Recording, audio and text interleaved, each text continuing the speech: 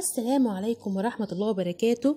كل عام وأنتم بخير. آه النهاردة إن شاء الله هناخد مع بعض القصة بتاعة المنهج الجديد للصف الثالث الابتدائي اللي هو منهج Connect القصة بتاعتنا اسمها Malak's Dream معناها حلم ملك.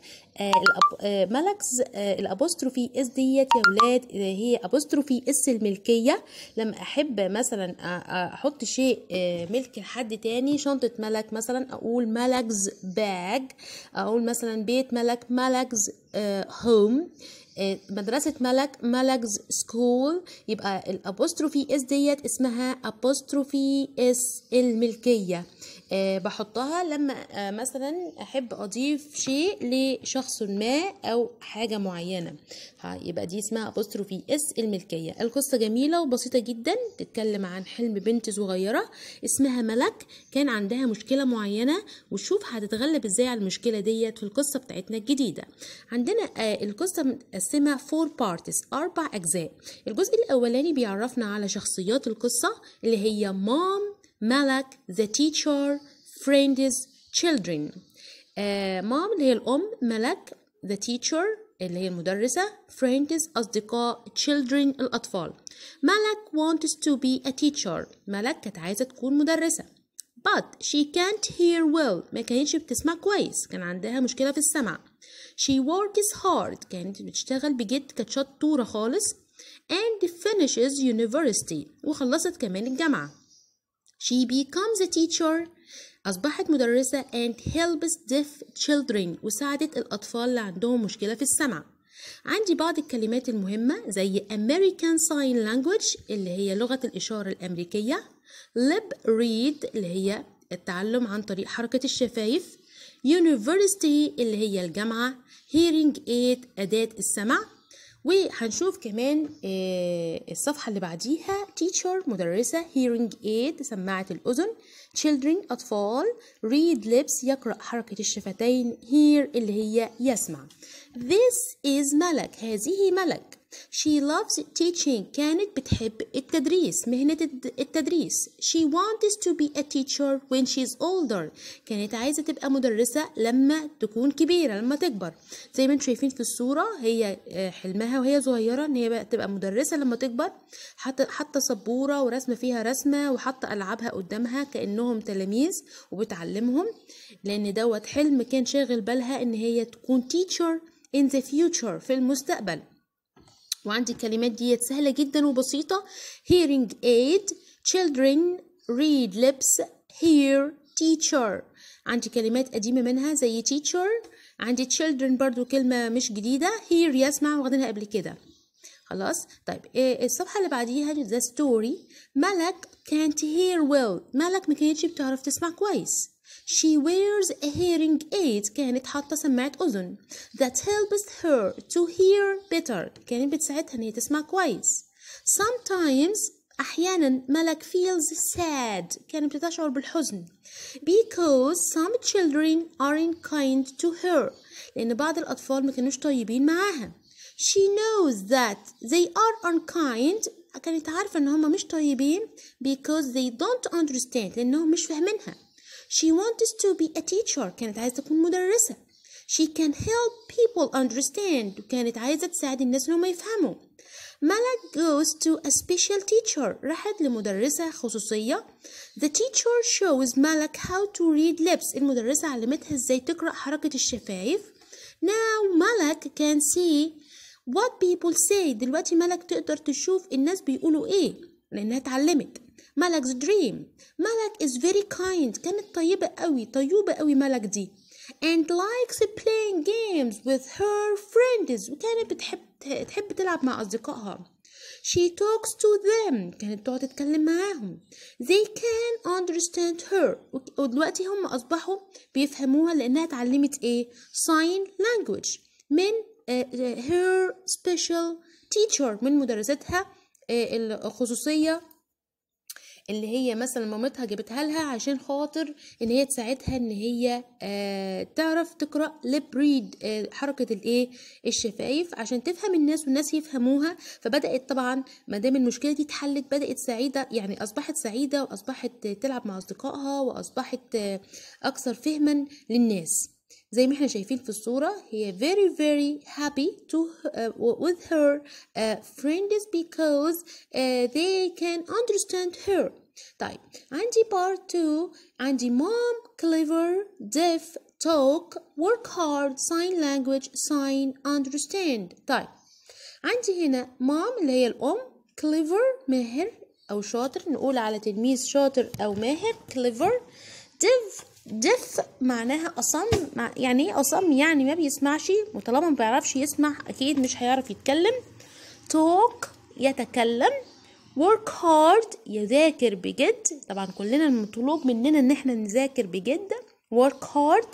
Sign language. Sign كلمة sign فيها جي والشي والجي هنا silent لا تنطق. محدش يقول لي سايجن sign sign language. Sign لوحدها ده verb معناها يشير أو إشارة ونون في نفس الوقت كمان. understand معناها يفهم. طيب إحنا دلوقتي هنشوف مشكلة ملك ديت اتحلت إزاي وهي هل فعلا هي آه عملت الحلم بتاعها ولا لأ. خلاص؟ عندي هنا ملك talks to her mom. ملك بتتكلم مع مامتها. Her mom says you can work hard انت تعرفي يا ملك تعرفي تشتغلي كويس قوي وتعرفي تشتغلي على نفسك كويس. وتذاكري كويس you can go to university to be a teacher وكمان يا ملك هتعرفي تروحي الجامعة عشان تبقي مدرسة You are very clever. انت م... انت شاطرة جدا يا ملك. You can help deaf children. وكمان بتعرفي تساعدي الأطفال اللي بيسمعوش آه وبيتكلموش. You can help all the children to understand. هتعرفي تساعدي كل الأطفال إن هم إيه يفهموا. يبقى مامتها هي اللي شجعتها عشان تحل مشكلتها ديت وما تبقاش آه زعلانة في حياتها. قالت لها لأ أنت عندك القوة والإرادة إن أنت تذاكري كويس جدا وتكوني teacher وتساعدي كمان deaf children uh, to understand عشان يفهموا الناس والناس تفهمهم. وبعدين ملك wants to speak to all deaf people. دلوقتي ملك عايزة بقى إيه؟ تتكلم مع كل الناس اللي ما بيسمعوش أو بيتكلموش خرس وطرش في نفس الوقت. She wants to help them. كانت عايزة تساعدهم. she learns sign language تعلمت لغة الإشارة she can say hello in sign language أصبحت تعرف تقول كلمة أهلا بلغة الإشارة she can ask how are you كمان تعرف تقول إزيك in sign language بلغة الإشارة she learns how to say many things عرفت تتكلم حاجات كتير قوي she talks to deaf people She her friends like sign language. وكمان أصدقائها حبوا لغة الإشارة. يبقى هي اتعلمت حاجة عشان تحل مشكلتها. اتعلمت حاجة اسمها إيه؟ Sign language. Sign language. لغة الإشارة. عندي بارت 3 university اللي هي جامعة. Proud اللي هو فخور مفتخر. Club نادي. Hearing children أطفال أصحاء السمع زينا معظم الناس hearing children معظم الأطفال hearing children بيعرفوا يسمعوا كويس قوي. Sing دي معناها يغني وهي الكلمة دي شبيهة بكلمة sign بس بدل الحروف هتبقى sing يغني teach يعلم أو يدرس.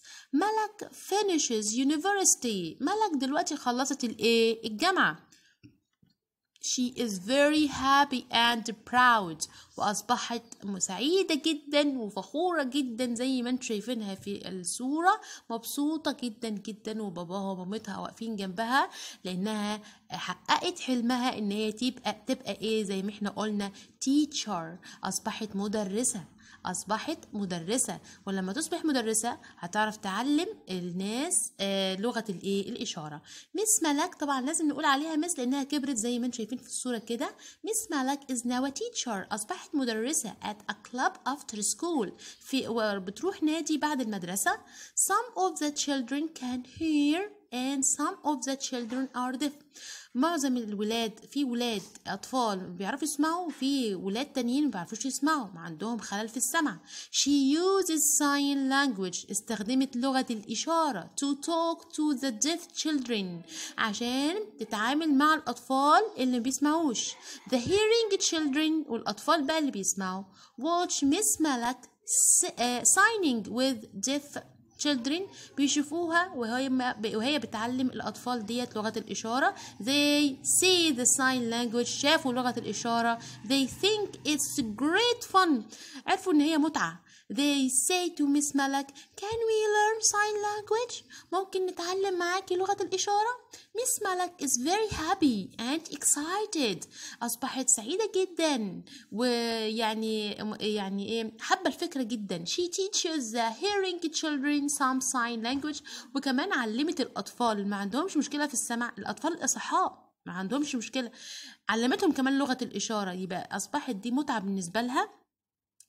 تعلم الناس كلها سواء بقى deaf children أو hearing children sign language لغة الايه الإشارة لأن ده يعني آه شايفة آه fun في حاجة زي كده آه enjoyment في حاجة زي كده آه إن أنا مبسوطة إن أنا بعلم الناس آه sign language.